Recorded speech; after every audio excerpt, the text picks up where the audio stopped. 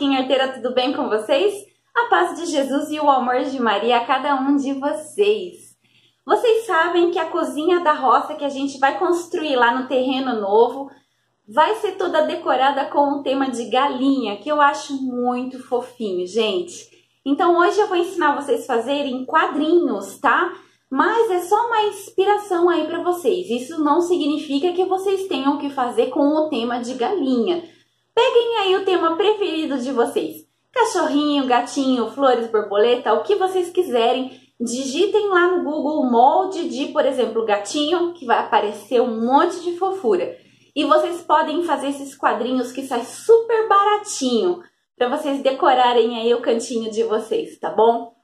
Então já vai deixando o meu like, vai curtindo e compartilhando esse vídeo aí nas suas redes sociais, tá bom?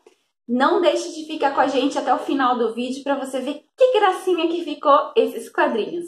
E quando a nossa cozinha estiver construída, a gente vai decorar juntos a cozinha, tá bom? Bora lá então! Bom, pessoal, para a gente fazer os nossos quadrinhos de galinha, você vai precisar de molde. Eu digitei no Google molde de galinha e apareceram vários. Como eu vou fazer três quadrinhos, eu peguei três desenhos e passei para a folha de sulfite. Número 1, um, número 2 e número 3. O próximo passo é a gente recortar todo esse molde e separá-lo das partes asa, crista, corpo, pezinho. E depois a gente vai começar a passar para o tecido. Eu vou estar tá usando feltro, tá? Mas aí você pode usar qualquer tipo de, re... de retalho que você tiver na sua casa, pode ser qualquer tipo de tecido, ok? Vou separar e já mostro para vocês o resultado. Bom, pessoal, já separei os moldes no papel Agora eu vou colocar em cima do feltro cada pecinha com cores diversas, tá? Vou riscar e recortar. Ficou faltando só a asa, mas eu vou recortar primeiro, vou passar pro, opa, me enrolei toda aqui.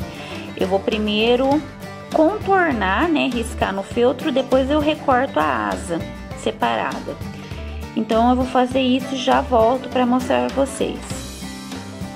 Bom, pessoal, todas as pecinhas agora recortadinha, nós vamos começar a montar nossa galinha, tá?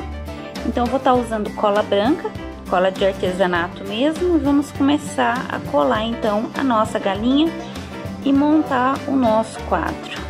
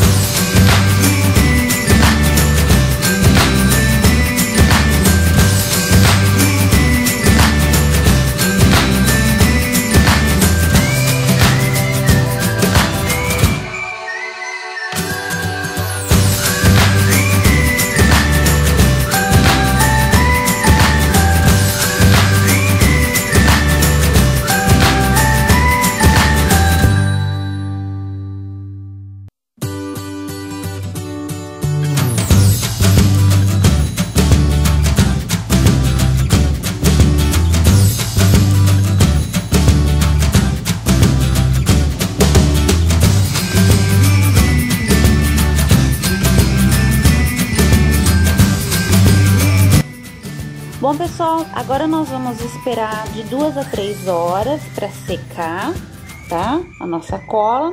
E depois a gente vai personalizar. eu vou fazer um chãozinho aqui com lantejoulas verdes para imitar a grama e vou colocar meia pérola, os olhos, tá? Para deixar o nosso quadrinho mais charmosinho. Então, até já!